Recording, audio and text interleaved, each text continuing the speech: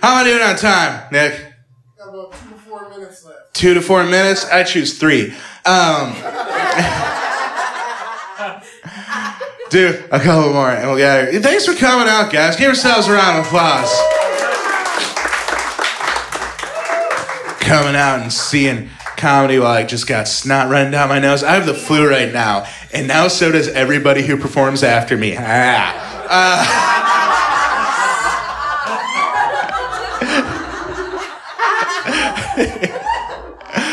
so, uh, so uh, as I mentioned earlier, I'm married. Um, it's true. And on our wedding day, um, if anybody else is married, this probably happened to you because that, like on our wedding, this happened to us like like a dozen times at least. Anybody who came up to us who'd been married longer than like a fart uh, just like came up to us and said completely unsolicited, like, you want to know the secret to a long and happy marriage? I'm like, I didn't ask. And then they just kept talking. And uh, you want to know the secret to being married 20 years like me? It was never anything like inspired or insightful. It was always just some like useless fucking platitude you could find on a successories poster in a gas station bathroom. They're like, you want to know the secret to being married 20 years like me?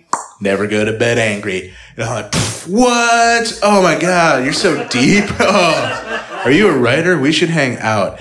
But you want to know the secret to being married 20 years like me? Communication. And I'm like, well, the Russian mail order bride that spoke English was 50 bucks extra, and I'm not made of money, so nerds to that. We, we play charades, we get along. And about it. But that's just giving me extra incentive to go the long haul. Like, I want to stick this marriage out because once I hit that 20 year mark, I can start going to weddings and give the most fucked up marriage advice to newlyweds. Like, do you want to know the secret to being married 20 years like me? Butter on your dick. And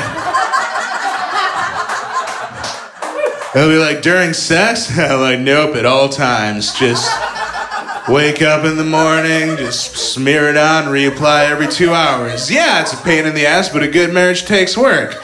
That's what margarine? Yeah, if you want to give up have your shit in five years, margarine. Margarine. Listen to this guy. Newlyweds.